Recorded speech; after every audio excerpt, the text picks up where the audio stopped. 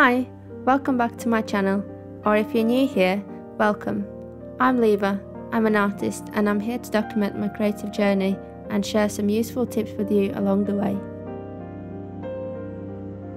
Once again, I'm very late to post this vlog. It's December, and I'm still posting a video from late October, but I hope you will enjoy it anyway. The past few months have been super busy, showcasing my work at multiple art markets across the UK, working on new paintings and doing the less exciting admin tasks. This Raven is one of my newest paintings and to date still remains a work in progress, but I'm very much looking forward to finishing it. My newest paintings are a little bit darker than my previous work and you can definitely see the dark autumn evening influences shining through. Let me know in the comments if you find inspiration from the weather, and if so, what's your favourite season?